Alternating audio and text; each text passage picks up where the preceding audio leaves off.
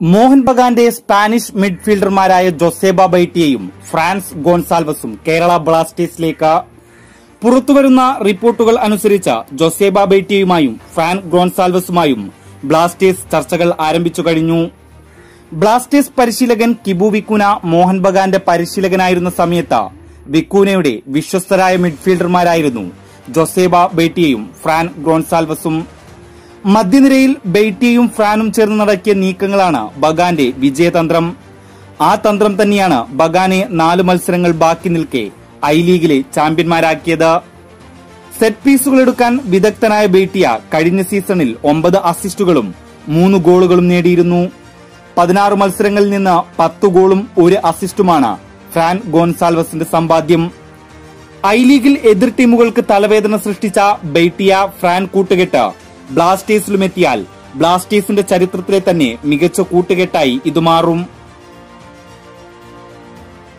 Central midfield attacking midfield defensive midfield തുടങ്ങി കളിക്കളത്തിലെ ഏതു മേഖലയിലും തിളങ്ങാൻ കഴിയുന്ന താരമാണ് ഇരുപത്തിയൊമ്പതുകാരനായ ജോസേബ. കഴിഞ്ഞ സീസൺ ഐ ലീഗിൽ റിയൽ കാശ്മീരിനെതിരെ സെൻട്രൽ ബാക്കായും ചർച്ചിൽ ബ്രദേഴ്സിനെതിരെയും ചെന്നൈ സിറ്റി എഫ് സിക്കെതിരെയും സെൻട്രൽ ഫോർവേഡായും ജോസേബ കളിച്ചിട്ടുണ്ട്. സ്പാനിഷ് ക്ലബായ റയൽ സോസിദാസിന്റെ യൂത്ത് ടീം അക്കാദമിയിലൂടെയാണ് ജോസേബ പ്രൊഫഷണൽ ഫുട്ബോളിലേക്ക് കടന്നുവരുന്നത്. സ്പെയിനിലെ വിവിധ ഡിവിഷനുകളിലായി വിവിധ ക്ലബ്ബുകൾക്ക് വേണ്ടി ജോസേബ ബൂട്ടണിഞ്ഞിട്ടുണ്ട്. ഇനി ഫ്രാൻസ് ഗോൺസാൽവസിന്റെ കാര്യത്തിലേക്ക് വരികയാണെങ്കിൽ ഡിഫൻസീവ് മിഡ്ഫീൽഡർ പൊസിഷനിലാണ് താരത്തിന്റെ സ്ഥിരം പൊസിഷനെങ്കിലും സെൻട്രൽ ബാക്കായും കളിക്കാൻ കഴിയുന്ന താരമാണ് മുപ്പത്തിയൊന്നുകാരനായ ഫ്രാൻ ഗ്രോൺസാൽവസ്.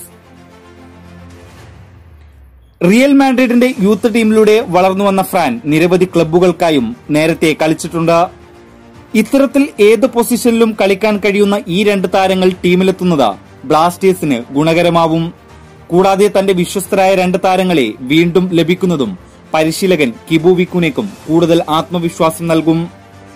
ഐ ലീഗിലെ മികച്ച കൂട്ടുകെട്ടായ ഫ്രാനും ജോസേബയും ബ്ലാസ്റ്റേഴ്സിന്റെ മഞ്ഞക്കുപ്പായത്തിലും മാന്ത്രികത തീർക്കട്ടെ. News desk whistle